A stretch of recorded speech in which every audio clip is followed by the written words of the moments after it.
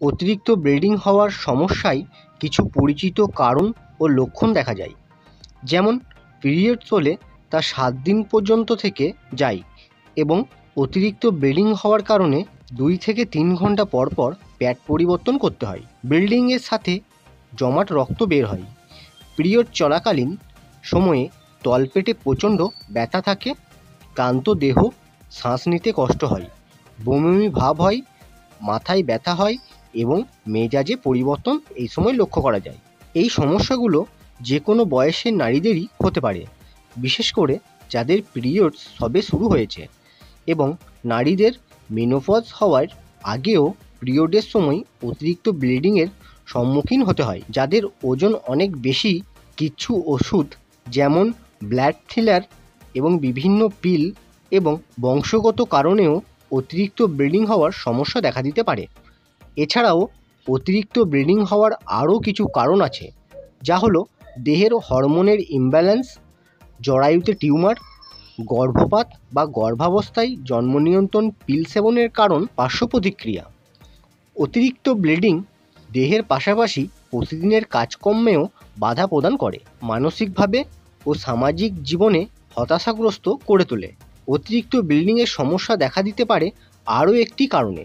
যদি দেহে আয়রনের অভাব থাকে এবং অ্যানিমিয়া রোগ থাকে, অতিরিক্ত ব্লিডিংয়ের কঠিন সমস্যায় অবশ্যই ডাক্তার দেখিয়ে চিকিৎসা নেওয়া প্রয়োজন এবং আপনি চাইলে এই সমস্যার সমাধান ঘরে বসেই করতে পারেন।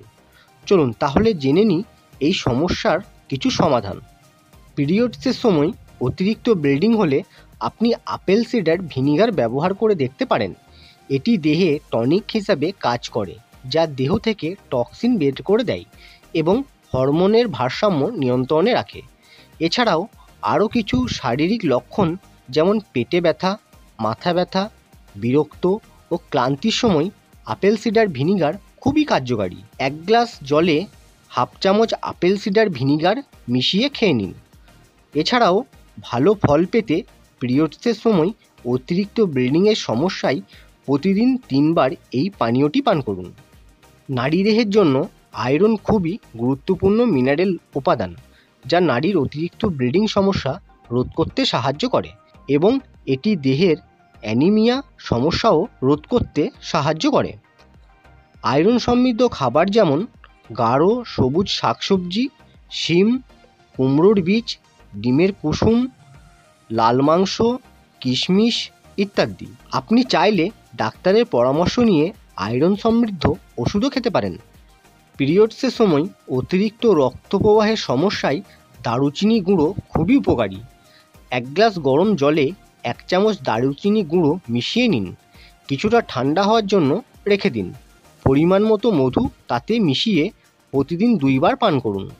এছাড়াও দারুচিনি গুঁড়োর তেল পনেরো থেকে তিরিশ ফোঁটা এক গ্লাস জলে মিশিয়ে প্রতিদিন তিনবার পান করতে পারেন। এই উপায়গুলি শুধুমাত্র পিরিয়ডসের সময় পালন করুন। ভিডিওটি ভালো লাগলে একটা লাইক করবেন। এরকম বিভিন্ন নিত্য নতুন বিষয়ে ভিডিও পেতে চাইলে চ্যানেলটিকে সাবস্ক্রাইব করে পাশে থাকুন। নমস্কার।